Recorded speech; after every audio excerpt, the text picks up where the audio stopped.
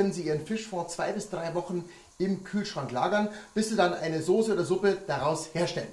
Das heißt, wie geht es jetzt mit dem Fischfond? Und dazu brauchen wir erstmal Fischkarkassen. Und die habe ich hier schon gewässert, das ist wichtig. Habe also hier hauptsächlich Flossen, habe das Fleisch, habe die Gräten mit eingesetzt. Jetzt stelle ich das Wasser ab und gieße diese gespülten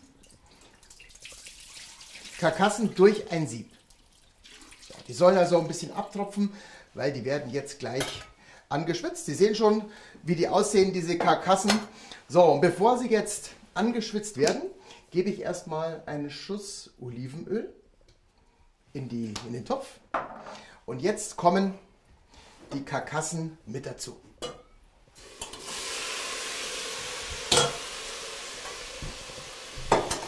Sie sehen, schwitzt also jetzt so ein kleines bisschen an, bis es dann so ein paar Röststoffe gibt.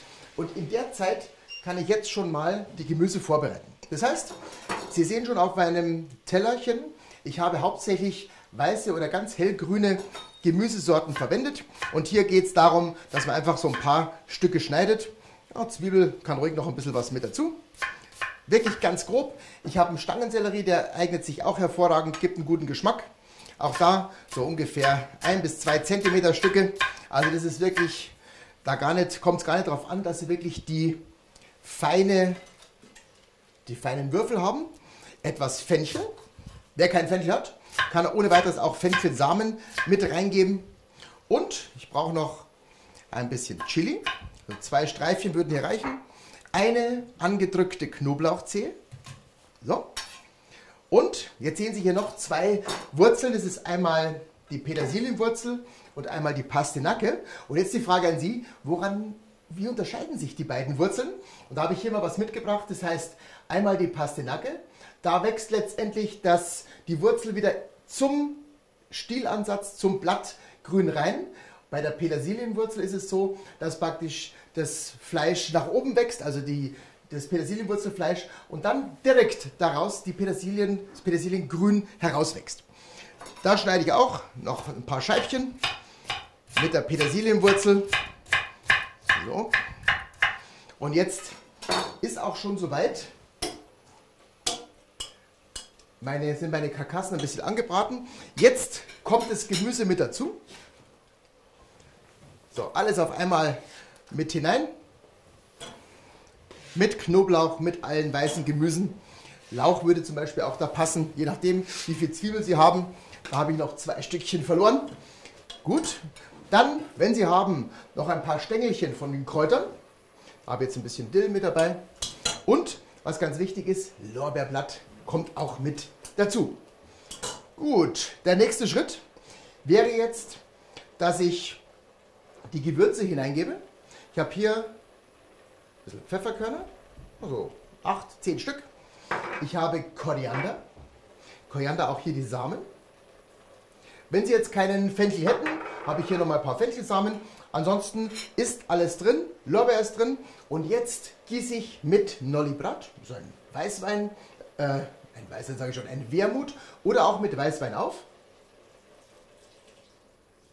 sorgt für Geschmack, ein bisschen Säure. Und ich hole mir jetzt noch ein Wasser. Das heißt, ein Liter Wasser ungefähr aufgegossen.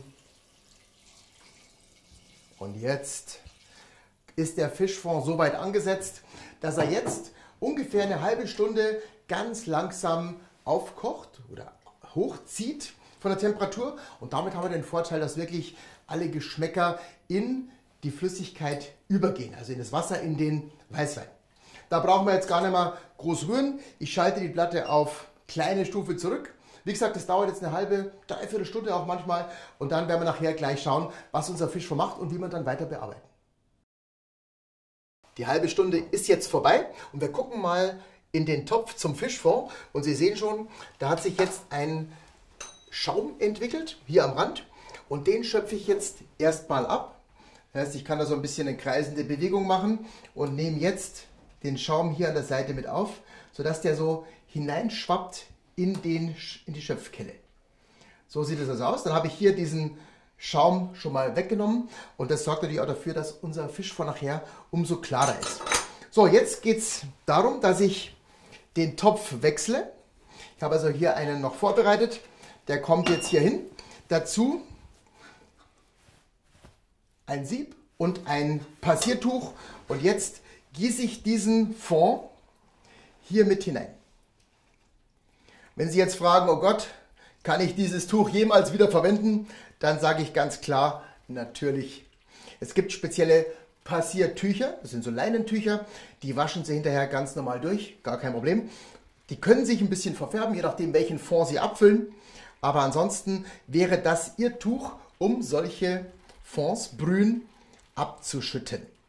Und damit haben Sie natürlich überhaupt keine Partikelchen in Ihrem Fond. Es ist wie so ein Kaffeefilter eigentlich.